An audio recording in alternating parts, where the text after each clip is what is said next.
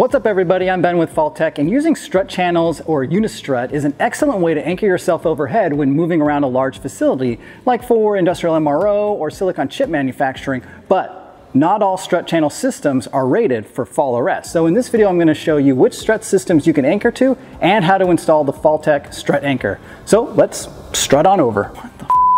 Strut channels are a common structural system often used for supporting air ducts, electrical wiring, and pipes, and these exposed strut systems are generally not approved for supporting fall arrest loads, which is why you must use a concrete embedded strut system or a strut system with approved strength capacity of 5,000 pounds. The FallTech strut anchor was designed to be used in 1 and 5 8 wide strut substrate with 12 gauge or heavier construction. Installation is quick and simple.